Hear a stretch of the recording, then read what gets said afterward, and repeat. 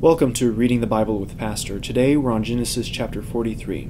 Last time we read that Joseph had seen his brothers after uh, many years. They had bought grain, but he, Joseph, had given their money back as they went home. But Simeon had been left in Joseph's custody, and in order for them to return, would have to bring back Joseph's younger brother, Benjamin. let's see what happens now that the grain has run out and they must buy food again. Now the famine was severe in the land, and when they had eaten the grain that they had bought from Egypt, their father said to them, Go again, buy us a little food. But Judah said to him, The man solemnly warned us, saying, You shall not see my face unless your brother is with you. If you will send our brother with us, we will go down and buy you food. But if you will not send me, him, we will not go down, for the man said to us, You shall not see my face unless your brother is with you. Israel said, Why did you treat me so badly as to tell the man that you had another brother? They replied, The man questioned us carefully about ourselves and our kindred, saying, Is your father still alive? Do you have another brother? What we told him was in answer to these questions. Could we in any other way know that he, what he would say? Bring your brother down. And Judah said to Israel, his father, Send the boy with me, and we will arise and go, that we may live and not die, both we and you, and also our little ones. I will be a pledge of his safety. From my hand you, will, you shall require him. If I do not bring him back to you and set him before you, then let me bear the blame forever. If we had not delayed, we would not now have returned twice. Then their father Israel said to them, if it must be so, then do this.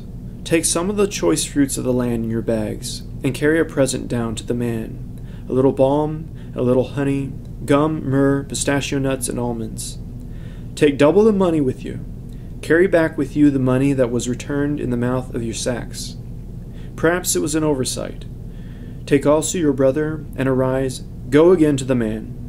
May God Almighty grant you mercy before the man and may he send back your other brother, and Benjamin. As for me, if I am bereaved of my children, I am bereaved. So the men took this present, and they took double the money with them. And Benjamin, they arose and went down to Egypt, and stood before Joseph. When Joseph saw Benjamin with them, he said to the stewards of the house, Bring the men into the house, and slaughter an animal, and make ready, for the men are to dine with me at noon. The man did as Joseph told him, and brought the men to Joseph's house. And the men were afraid because they were brought to Joseph's house. And they said, It is because of the money, which was replaced in our sacks the first time, that we are brought in, so that he may assault us and fall upon us to make us servants and seize our donkeys. Here, they're, they're worried that uh, Joseph uh, will say that they had been thieves and taken that money along with the grain. So they went up to the stewards of Joseph's house, and spoke with him at the door of the house, and said, O my lord, we came down the first time to buy food, and when we came to the lodging place, we opened our sacks, and there was each man's money in the mouth of his sack, our money in full weight. So we have brought it again with us, and we brought other money down with us to buy food. We do not know who put our money in our sacks. He replied, Peace to you, do not be afraid. Your God and the God of your father has put treasure in your sacks for you. I received your money. Here we see that Joseph must have been talking with his servants of his household because they believe in this God and the God of their father, uh, I, Jacob, Isaac, and Abraham. We'll continue with verse 24. And when the man had brought the men into Joseph's house, and given them water, and they had washed their feet, when they, he had given their donkeys fodder, they prepared the present for Joseph's coming at noon, for they heard that he should eat bread there. When Joseph came home, they brought into the, ha- the house to him the present they had had with them, and bowed down to him to the ground.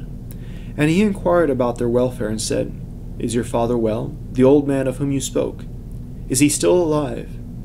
They said, Your servant our father is well. He is still alive and they bowed their heads and prostrated themselves.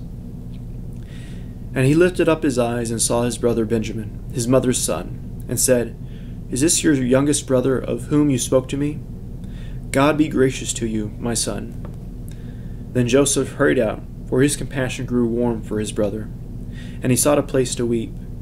And he entered his chamber and wept there. Then he washed his face and came out. And controlling himself, he said, Serve the food. They served him by himself, and them by themselves, and the Egyptians who ate with him by themselves, because the Egyptians could not eat with the Hebrews, for that is an abomination to the Egyptians. And they sat before him, the firstborn according to his birthright, and the youngest according to his youth. And the men looked at, at one another in amazement. Portions were taken to them for Joseph's table, but Benjamin's portion was five times as much as any of theirs, and they drank and were merry with him. We see here that the sons of Israel were worried about seeing Joseph again and how he might treat them, and he gives them a feast.